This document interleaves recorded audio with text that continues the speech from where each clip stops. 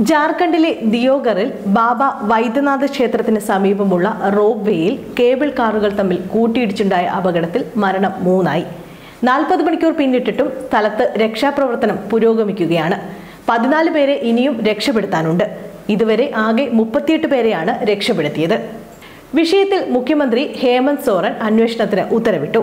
വ്യോമസേന കരസേന ദേശീയ ദുരന്ത നിവാരണ സേനകളൊക്കെ രക്ഷാപ്രവർത്തനത്തിൽ പങ്കെടുക്കുന്നുണ്ട്. വൈകിട്ടോടെ രക്ഷാപ്രവർത്തനം പൂർത്തിയാക്കുമെന്ന് അധികൃതർ അറിയിച്ചിട്ടുണ്ട്.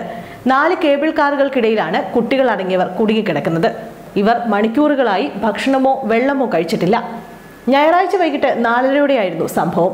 സാങ്കേതിക തകരാറിനെ തുടർന്നാണ് പന്ത്രണ്ട് കേബിൾ കാറുകൾ കൂട്ടിയിടിച്ചതെന്നാണ് പ്രാഥമിക നിഗമനം. സ്വകാര്യ സ്ഥാപനം നടത്തുന്ന റോപ്പ് ആണ് ഇത്.